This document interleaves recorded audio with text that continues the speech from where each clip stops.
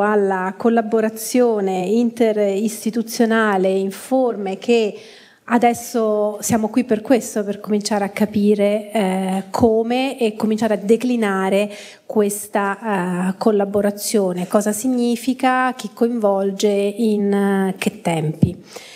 Quindi, mm, bene, io ringrazio davvero tutti i, mm, i, presenti di questo primo tavolo, i contributi sono stati tanti e gli stimoli eh, altrettanti.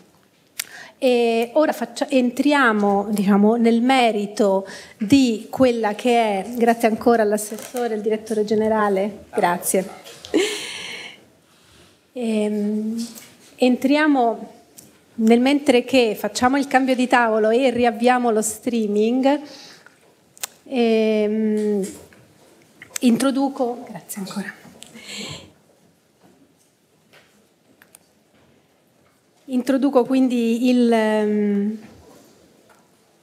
la seconda sessione di questa uh, mattinata ehm, in cui diciamo, cominceremo a uh, definire eh, il programma di lavoro che abbiamo immaginato per, il, um, per i prossimi mesi e forse direi per, per il prossimo triennio.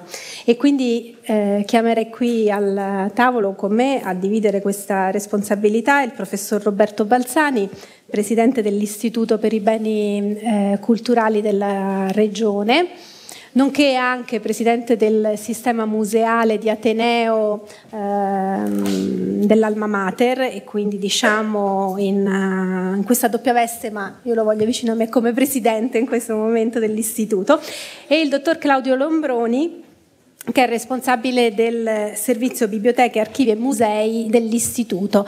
Ecco, insieme adesso cercheremo di delineare la eh, nostra proposta di lavoro sia in termini culturali che in termini poi più operativi.